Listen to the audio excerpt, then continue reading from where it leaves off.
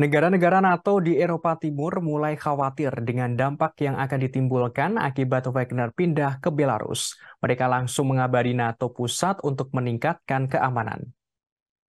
Dikutip dari Kompas.com, pada Kamis 29 Juni, negara-negara NATO di Eropa Timur memperingatkan pemindahan pasukan tentara bayaran Rusia Wagner ke Belarus akan menciptakan ketidakstabilan regional yang lebih besar.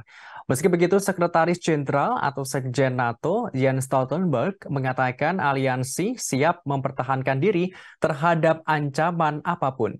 Sementara itu, Presiden Lituania Gitanas Nauseda mengatakan pindahnya Wagner ke Belarus untuk menyebarkan pembunuh berantai, maka negara tetangga menghadapi bahaya ketidakstabilan yang lebih besar.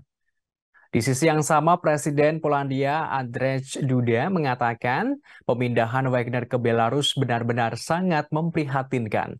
Pihaknya harus membuat keputusan yang sangat kuat.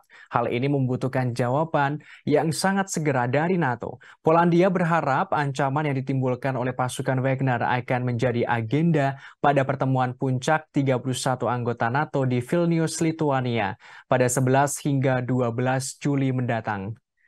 Bos Wagner Yevgeny Prigozhin seperti diketahui tiba di Belarus pada Selasa 27 Juni di bawah kesepakatan yang dinegosiasikan oleh Presiden Belarus Alexander Lukashenko. Hasilnya, pemberontakan tentara bayaran di Rusia pada Sabtu bisa diakhiri.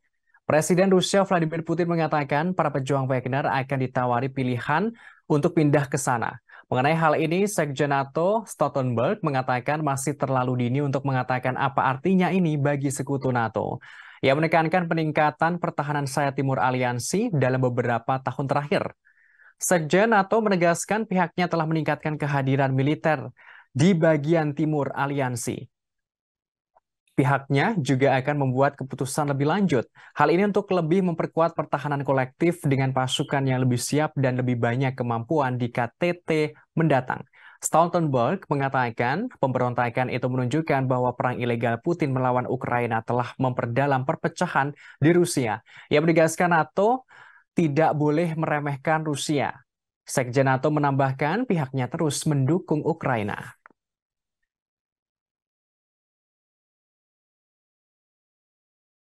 Terima kasih sudah nonton. Jangan lupa like, subscribe, dan share ya.